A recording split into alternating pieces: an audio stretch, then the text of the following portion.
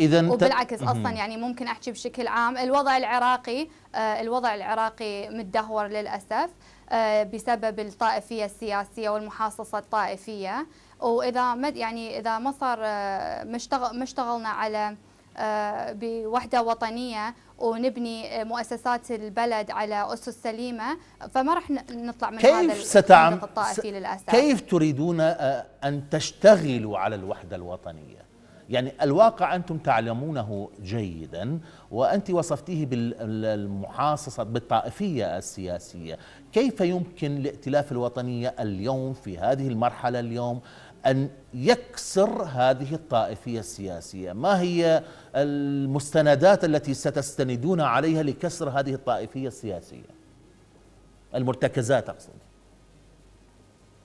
إيه يعني هو مبادئنا نف يعني نفس ما هي صارت يعني بقت كما هي طول هاي الفترة. وإحنا عندنا مرشحين في العراق كله آه، ما مقيدين بمنطقة. أها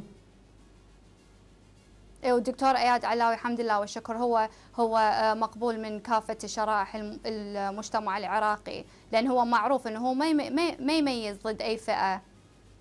أنا أتحدث مع سارة أياد علاوي ولا أتحدث مع السيد أياد علاوي وبالتالي قد تكون لديكم وجهات نظر كائتلاف وطنية ولكن لديك شخصيتك السياسية بماذا تختلفين عن السيد أياد علاوي ما هي هل لديك ملاحظات على سبيل المثال قد أشرتها على الأداء السياسي في السابق وتحاولين أن تغير اليوم؟ لا يعني أكيد أني مؤمن بمشروع دكتور اياد علاوي وأني جزء من هذا المشروع ومؤمن بمبادئه. إحنا عندنا قضيه قضية وطنية وإحنا نشتغل بهذا الشيء. آه أني كوني إنه أني شابة وأم امرأة آه مثلا ممكن أكون أقرب لهاي الفئات وأتفهمهم أكثر. طب ما هو مشروعك تجاه المرأة على سبيل المثال؟ باعتبارك تتحدثين عن المرأة من ضمن منهاجك أنت الانتخابي.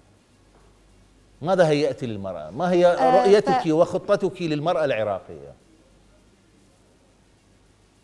انه إنه آه، حافظ على على القوانين اللي تحمي حقوق المرأة ونعمل على تحديث آه، تحديث قوانين للمرأة حتى المرأة ممكن تاخذ مساحتها مثلا اعطيني مثلا يعني أعطني مثال أعطني مثال لهذه القوانين التي تريدون أن تستحدثونها. إيه.